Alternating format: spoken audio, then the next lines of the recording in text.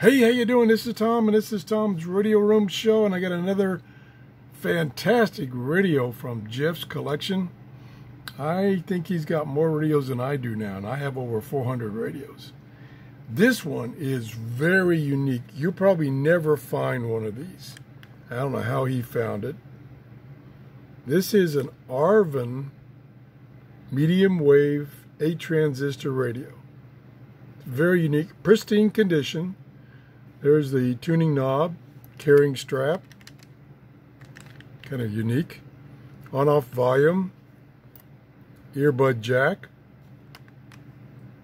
and it has a kind of built in leather case, and I'll show you what I mean. Plus, it requires a very unique battery. There it is right there. This is a 9 volt tubular battery. Jeff paid $5 for the radio and $19 including shipping for the battery. $19 for the battery. So I'm going to try and install that battery for you right now. You take it out of the box. I don't think it's rechargeable. I didn't see any indication that it was rechargeable. There it is. 9 volt al no alkaline battery, yeah. Take it out of the bag here.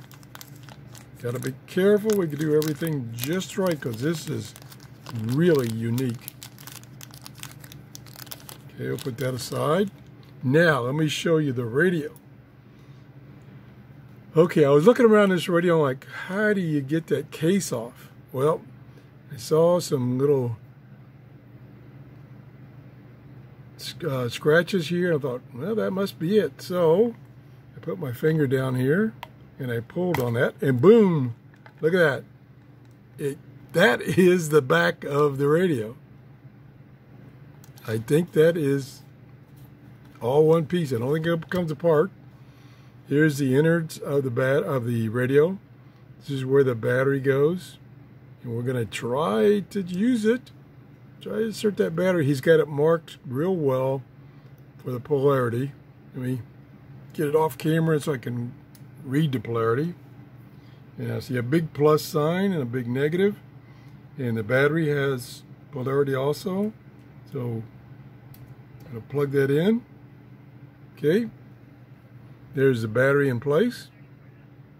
Now, uh, see the battery goes down to bottom. So whoop, very carefully, put the case back on. Snap it in place. There it snaps right in place. Now we'll see if I can turn it on. Yeah.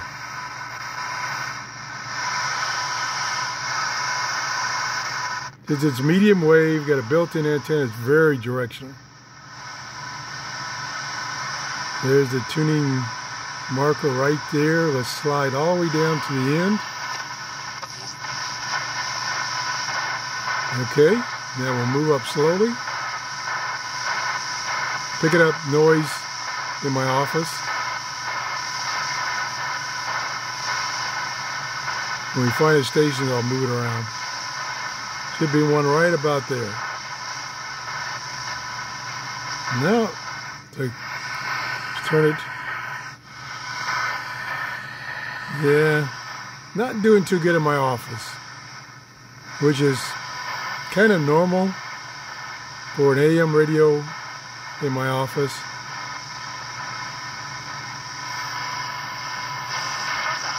There we go. Yeah, see that? Just turn it a little bit, you get nothing but noise. Good, good audio. Perfect condition. Let's see. It wants to be that direction. So let's leave it there. There's another station. Really struggling. There's a good one. Random things on the way. Stick around because Major League Baseball has to.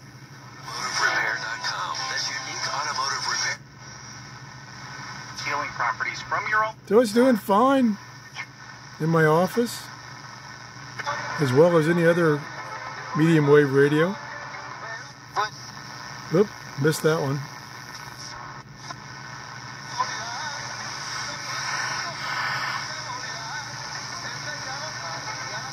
Two of the girls took off on their own with a bunch of Plenty of volume. Good, good audio. It's not uh, tinny. Okay, that's about it. Oops, let's see. Oop, wrong way. There, it finally clicked. Okay, this is really unique. A wood grain, uh, yeah, leather green back is the back. so there's, you, you, you can't take this case here off and leave it off. You can't do that. That's about it. I want to thank Jeff for loaning me these radios. This one is very unique. I, if you've ever seen one of these or own one, let us know because this is very unique. Thanks for watching. If you enjoyed the show, please give me a thumbs up and have a great day. Bye bye.